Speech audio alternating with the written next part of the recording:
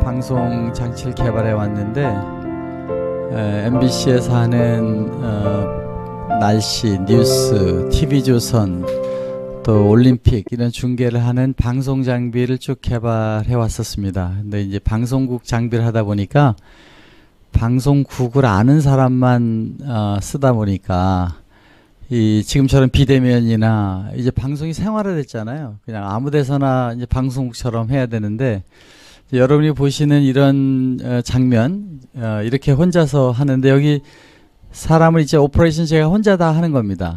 아, 이렇게 할 수 있는 장비는 전 세계에서 처음 있다 이렇게 보시면 되고 어, 이런 기술을 개발해서 이제 2년 전 코로나 오기 전에 유럽에 출시를 했는데 해외가 이제 닫히는 바람에 국내 이렇게 보니까 한국에서도 비대면 수업 이런 게 많고 원격 수업이 많고 하면서 어 우리나라 교육 그 예산이 내년도에는 국방비를 갈 정도로 큰 예산이 책정되는 그런 이제 심각한 교육 위기에 처해지게 되었습니다. 그 중에 수업을 방송사처럼 한다.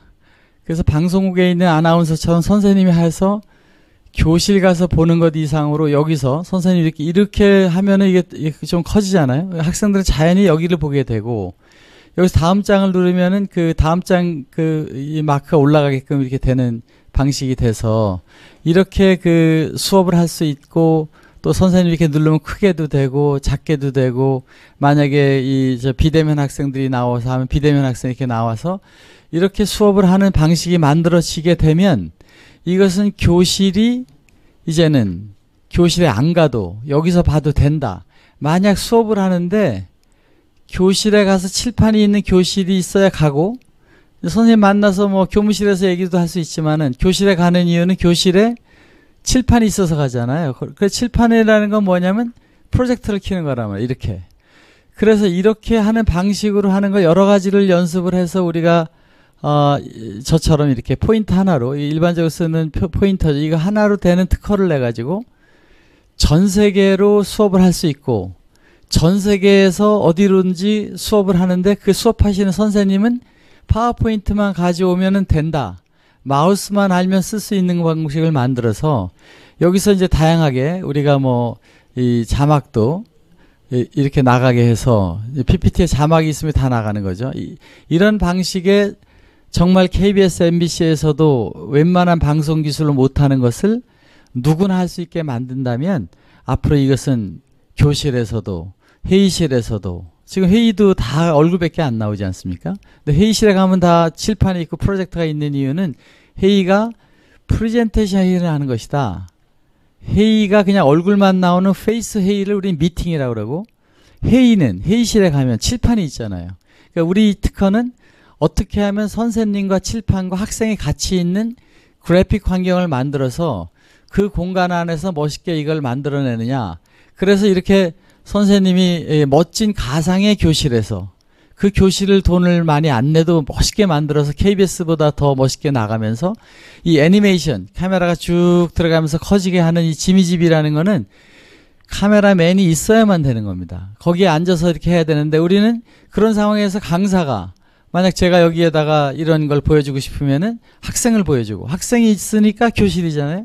교실에 안 갔지만 같이 있는 것처럼 보이고 거기에 선생님이 보이는 대면 학생 이 방에 이 방에 있는 대면 학생 여기죠. 여기는 지금 누가 있느냐 이렇게 있는 겁니다.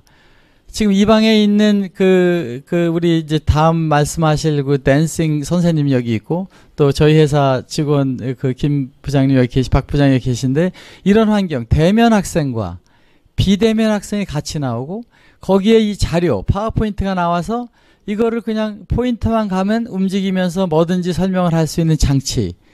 선생님은 이것을 작동하는데 아무런 염려 없이 그냥 오셔서 파워포인트 켜서 하시면 된다. 학생들은 스마트폰으로 저걸 보는데 여러분은 지금 앞에 모니터를 보지만은 스마트폰으로 이걸 보는 학생은 눈앞에 30cm 되는 데다가 스마트폰이 5인치가 되면은 이게 3m 앞에 10m 앞에 되면은 이게 900 에, 이 5인치가 아니라 이 그것의 10배가 되는 500인치 테레비를 보는 것처럼 되는 스크린을 보고 있는 게 되기 때문에 스마트폰으로 보는 교실이 일반 교실에서 200인치, 120인치로 보는 프로젝터 교실보다 더 낫다.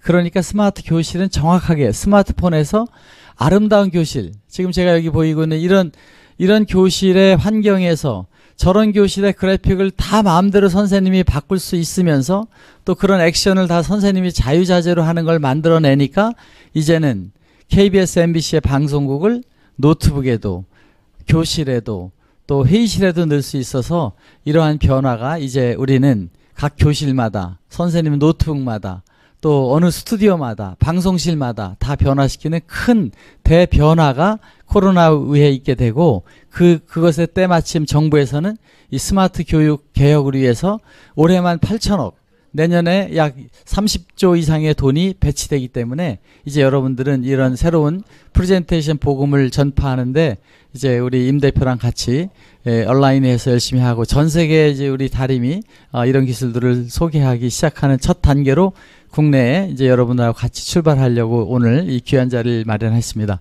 아무튼 오늘 뭐 드릴 말씀 많지만 또 자세한 얘기들을 많이 준비되어 있으니까 편안하게 생각하시고 이 장비는 세계에서 최초로 다림은 그동안 30년 동안 방송계에 전 세계에 그래도 한국의 이름으로 수출해 오던 방송회사였고 KBS, MBC, SBS에서 우리 다림을 모르는 사람이 거의 없을 정도로 기술적으로 많이 해오던 회사고 한국 최초 HD 그 박인지 아나운서가 하던 MBC의 그 뉴스도 KBS는 아테네 올림픽도 지금 TV조선에 했던 여러 가지 그 어, 앵커의 시선들도 다 우리 장비를 쓰고 있는 방송 장비다. 그 장비를 선생님이 쓰려면은 아주 단순하게 메뉴 없이 해야 되겠다. 그리고 그것이 전부 인공지능 기능에 의해서 자동으로 돼야 되겠다. 하기 때문에 이것의 특징은 전문가가 아닌 분이 전문가 이상으로 하는 방송 장비를 만들어낸 것이고 이것은 강의 장치처럼 쉽기 때문에 누구나 할 수 있고 운영자 없는 방송국 가면 복잡한 버튼이 있어서 그걸 썼는데 그런 거 없이 쓸 수 있는 장비를 만든 것이니까 여러분들께서 한번 이 다림의 이제 200 모델부터 300, 400, 뭐 5000, 지금 제가 쓰는 5000 모델인데 7000 모델은 더, 더 멋있게 되는 것이 있습니다.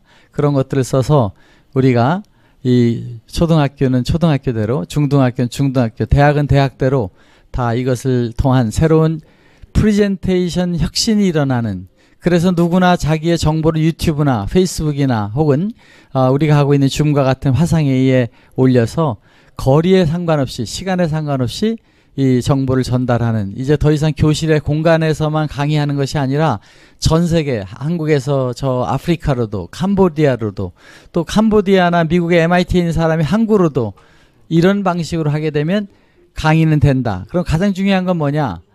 이것을 핸드폰으로 보는 강의가 교실에서 보는 것보다 낫다라는 메시지입니다.